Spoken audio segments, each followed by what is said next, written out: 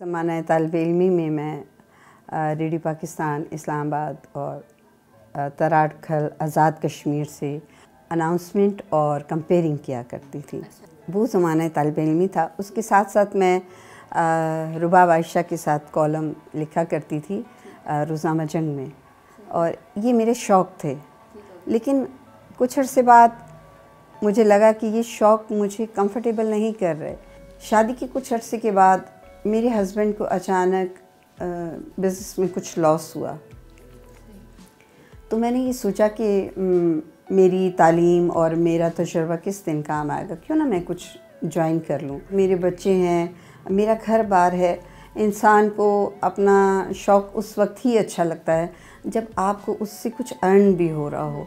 मैं बहुत डर रही थी कि पता नहीं मेरे से ये काम होगा कि नहीं होगा। लेकिन बिज़नेस में हमेशा रिस्क लेना चाहिए। मेरी पहली जो सेल थी, उसने मुझे बहुत मोटिवेट किया।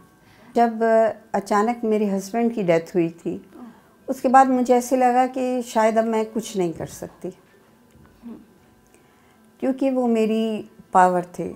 मुझे एक्चुअल जो उन्होंने कॉन्फिडेंस दिया था वो वही थे। जैसे कहते हैं लोग कि एक कामयाब मर्द के पीछे एक औरत का हाथ होता है।